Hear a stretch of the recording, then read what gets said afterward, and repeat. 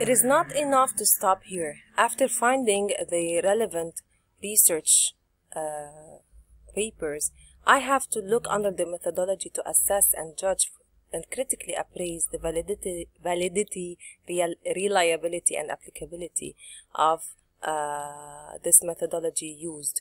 So critical appraisal is necessary and is this, the fourth step in the process of EBM uh, tackling about the question. So I don't stop at just getting the literature and reading it. I have to critically appraise what's in hand. CASP appraisal checklist and critically appraising articles by category by Duke University are other references to resort to and when you want to do critical appraisal of the paper in hand. Finally, evaluate the whole process. Apply the results to your patient. Was it applicable to your patient?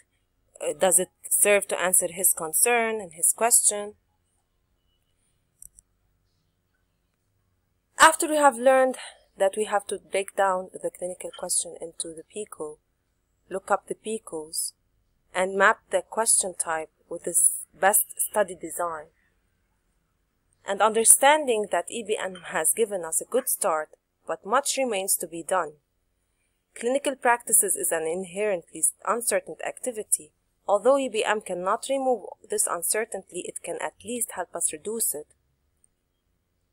It is recommended that hopefully education of the future physicians will enhance their ability to effectively search the medical literature in a timely manner and hence be efficient EBM clinical question uh, searchers and critically appraise the information out there and not just believe everything one sees fake and not just fake but also the peer-reviewed journal have to be critically appraised for the validity, reliability, and applicability. Some final words on EBM.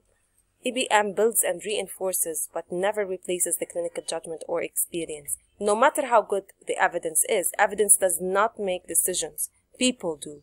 But perhaps with the evidence in hand, some future decisions might be just a little more informed. Still confused? More on the live session on June 12th.